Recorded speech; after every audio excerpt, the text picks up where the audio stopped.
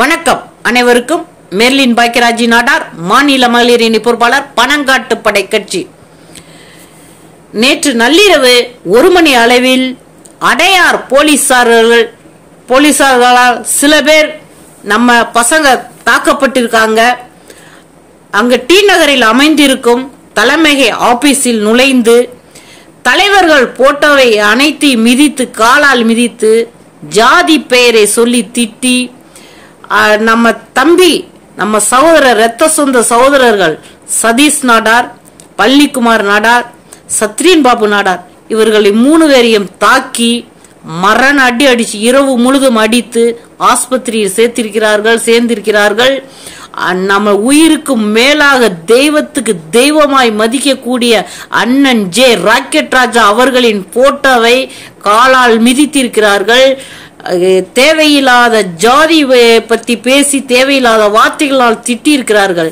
இதை நாங்கள் மகளிரணி சார்பாக வன்மையாக கண்டிக்கிறோம். அத்தனை மகளிர்களும் கொந்தளிப்போட கொதிப்போடு இருக்கின்றோம். அண்ணன் ஒரு வார்த்தை சொன்னால் அவ்வளவு பேரும் நாங்கள் போராட்டத்தில் இறங்குறதுக்கு ரெடியாக இருக்கின்றோம். தயாராக இருக்கின்றோம். இங்கு அண்ணன் ஆலங்குளத்தில் அண்ணன் ஹரிநாடார் ஜெயித்து விடுவார் என்று இவர்களுக்கு பயம் உண்டாகிவிட்டது. ஏன் நாங்கள் ஜெயிக்க கூடாதா நாங்கள் வரக்கூடாதா? வரக்கூடாத எண்ணமா உங்களுக்கு வரமாட்டோம். நினைத்தீர்களா? வருவோம். ஜெயிப்போம்.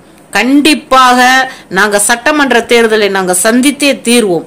அந்த பயத்தினால தான் சில அரசியல்வாதிகள் சில பேர் பணத்துக்காக பணத்தை கொடுத்து இந்த பணங்காட்டுப்பட கட்சி இருக்கக்கூடாது அப்படி என்கிற எண்ணத்தில் அந்த நோக்கத்தில் எங்களை அழிக்கும் வெகு- விதத்தில் வந்து கொண்டிருக்கிறார்கள். ஆனால் பணங்காட்டுப்படை கட்சி ஒரு வார்த்தை அண்ணன் ஜே ராக்கெட் ராஜ் அவர்கள் சொன்னால் ஒட்டுமொத்த நாடார்கள் அனைவரும் குரல் கொடுக்க தயாராக இருக்கிறார்கள்.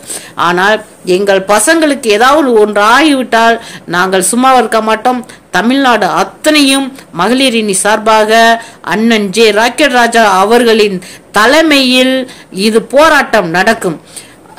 இதை நான் வந்து வன்மையாக கண்டிக்கின்றோம். பன்னங்காட்டு படை கட்சி ஜெயிக்கும். பன்னங்காட்டு படை கட்சி வாழும். பன்னங்காட்டு படை கட்சி வாழ்க. வணக்கம் மெர்லின் பாக்கியராஜ் நாடார்.